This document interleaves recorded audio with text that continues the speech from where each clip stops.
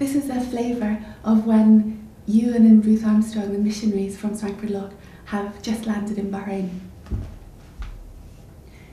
Ewan's strange mood persisted. As they stood on the concourse waiting for Christopher, the man from the church who was coming to meet them, she clutched Anna to her and marvelled, taking in everything the sweat and grime and cacophony of the night, the shoving, jostling, clamouring people, the muggy air thick with sand and cement dust, the curdled sounds of Arabic and shrilled sounds of Urdu. The men in long white thobes with red and white checked guthra hairdresses, the women gliding past in long black robes and veils. It really did look as if they were gliding. A chattering flock of Indian girls, like birds of paradise in their brightly coloured saris and jangling bangles and fluttering chiffon headscarves. She pointed things out. Look, look at that! But Ewan was mute, impervious to her exclamations. When Christopher eventually arrived, he had been horribly delayed by the traffic, he said, pushing back a damp forelock with his wrist. Ewan greeted him unsmilingly, and Ruth felt embarrassed. Christopher shook her hand, his was warm and limp, and made a joke about fresh blood and lambs to the slaughter. It was in poor taste, Ruth thought, but she laughed back out of politeness. She felt Ewan glance at her and frown. For goodness sake, she wanted to say to him, help me out here. Usually, he had the right smile and banter for everyone, and she stayed demure in the background. But now it fell to her to make conversation. In the jeep, Christopher explained that it would take them longer than it should to drive back to the compound, because Thursday was the start of the Arabic weekend, when the highways jammed with Saudi boys who drove over the causeway to come to the nightclubs and hotel cabarets in Manama.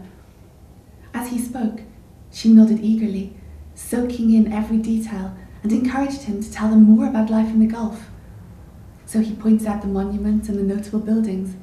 There, lit up and proud in the centre of the big roundabout, was the great pearl clasped in the multi-pronged tower, a symbol of the island's past, of course, and the pearl divers. But to him, a reminder of the parable in Matthew about the merchantman seeking goodly pearls and selling all he had for the one pearl of great price. That, in the distance, was the dome of the Al Fatih Mosque, the largest building in Bahrain, gleaming green in the floodlights. They'd get used to the muezzin's calls to prayer, he said. Five times a day, through loudspeakers from the Al Fatih and all of the other mosques. The city didn't exactly grind to a standstill, as it did in other Muslim countries, and you could pretty much go about your normal business, but you couldn't ignore it. What he did was to lift up the name of Jesus each time he heard a muezzin use it as a prompt to offer up his own Christian prayer. He caught her eye and winked and laughed. In that direction, he went on, was the King Faisal Causeway, stretching all the way to Saudi Arabia, and that highway took you into the desert, out to where they were building the new Formula One racetrack. It was a pity it was dark, that they arrived so late. Tomorrow, he promised, he would drive them around Manama and show them the sights. Even to this, Ewan did not respond with more than a vague smile, and once more Ruth felt embarrassed for him and for Christopher. Finally, they arrived at the house. It was not what she had expected.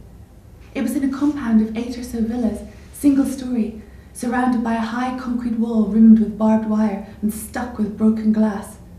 There was a sentry box, too, with a guard day and night, whose job was to keep watch of who went in or out, to raise or lower the barrier. Christopher saw her surprise at the security measures and told her not to be alarmed. It was not a dangerous area, he said, and Bahrain was not at all a dangerous country. The crime rate was, in fact, incredibly low. People just tended to live like this, the well-off for the expats at any rate. Life out here in the Gulf, he added, was jolly good, all things considered. Um, at this point, Christopher and Rosa, his wife, uh, then show Ruth and Ewan around the villa and get them settled in. Um, so I'll skip on to the very end of the chapter.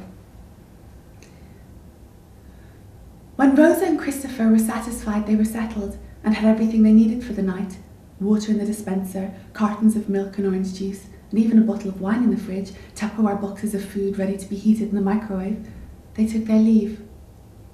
Ruth lay down in the cot and managed to undress and change her nappy without waking her. The child had fallen asleep in the jeep, and it was a blessing she had not woken since. Then went to find Ewan. He was standing on the veranda, gazing at the sky. The air was hot and thick, even at that time of the night. If you breathed too deeply, the particles of dust caught in the back of your throat. She coughed, wondered if they would learn to breathe the air without noticing the taste and the feel of the sand. Ewan did not acknowledge her. Sweetheart, she said. He did not move. Look, Ewan, she began again, angry now, but this time he turned and cut her off. We have to talk, he said. His face was grey. What? she said, but not here, inside. So they went back inside, and in the windowless central room, where he could be sure they would not be overheard, he told her the real reason he had come to Bahrain.